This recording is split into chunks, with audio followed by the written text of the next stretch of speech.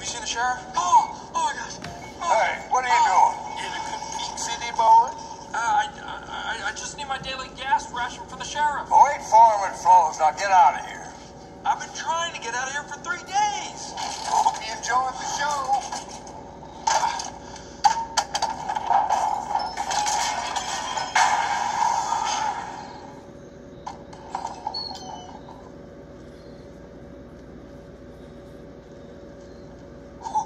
Doc.